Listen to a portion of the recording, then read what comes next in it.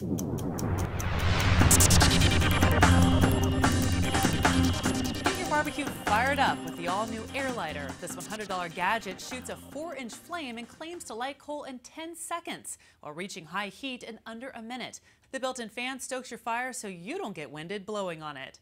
Just in time for the weekend, the Weber Grills app delivers 75 new barbecue recipes every Friday.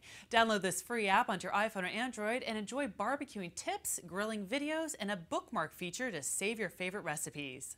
The $80 iGrill Bluetooth cooking thermometer is a high-tech way to ensure your meat is cooked perfectly every time.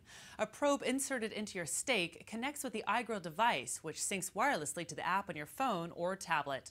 And finally, save the hassle of cleaning your grill to the $129 GrillBot. The robot scurries over your grill with a wire brush so you can enjoy that last delicious bite of barbecue. In San Francisco, I'm Kara Tsuboi, CNET.com for CBS News.